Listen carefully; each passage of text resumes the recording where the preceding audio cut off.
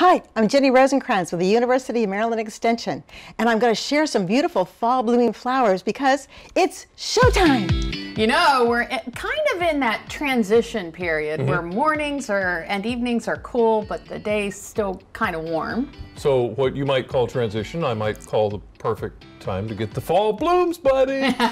and who better to help with that than this woman right here, gardening expert Ginny Rosenkranz with the University of Maryland Extension. Thank you so much for joining us yeah, this afternoon. Thank Thanks for having me over. You brought stuff. Yeah, oh, beautiful stuff you know, it's just really horrible. You have to just go out in the garden and take a look at things and just go, oh, one of these, one of these, one of these. yeah, I overdid it. But I have to share my friends with you guys this afternoon because I like they're really happy looking flowers. They really are. Yeah. Okay, so so, so we get summer bloomers, but these aren't yes. summer bloomers. Well, some of them are summer bloomers. Okay. And, and like for instance, the uh, the black-eyed Susans are summer bloomers. The uh, purple coneflowers are summer bloomers. They, but they also like to bloom when it gets cooler too. But then we do have the ones that only bloom in the fall, and that would be like the sedum autumn joy over there, the goldenrod, and uh, the beautiful, this is Virginia ironweed, it's, uh, okay. these natives, gorgeous ones. Uh, this is blue mist flowers, they're all really cool.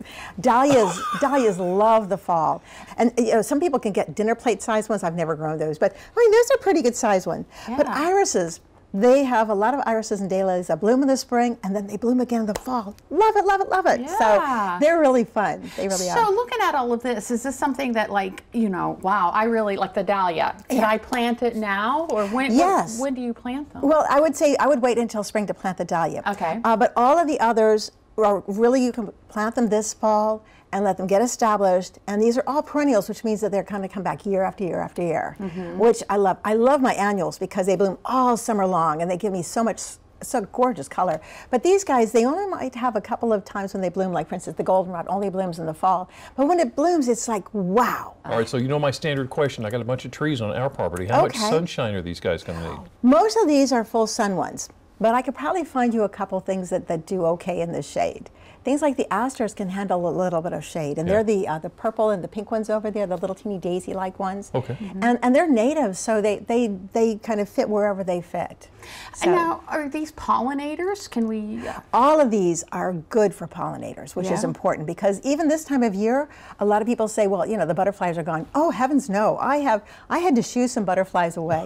and and the other thing is, is like for the, the uh, coneflower, when it goes to seed like this, I have to say good morning uh, to the goldfinches because they're eating all the seeds. Really? So not only are we helping the pollinators, the butterflies, and, and you know, the, the, the, actually we do have a lot of other pollinators besides the hummingbirds and, and the butterflies, but uh, we also enjoy, uh, you know, helping the birds and having these coneflowers.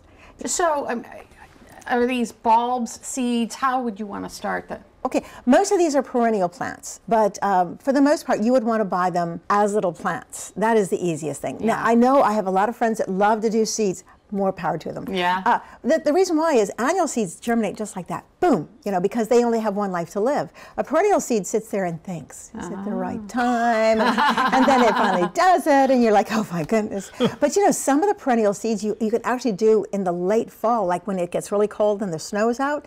And you just, you know, you put them into uh, containers and you sprinkle the seeds on top. And you put a little bit of um, uh, mulch or, or some topsoil on top a little bit. And then leave them outdoors. And even if it rains or snows or whatever, they, they're like, they like but that. they're perennials, and this is the kind of life that they live. Awesome. So, yeah, that? easy. Gardening expert Ginny Rosenkranz with the University of Maryland Extension Office. As always, thank you so much. I'm going to get some of these. Yeah, Absolutely. Yeah.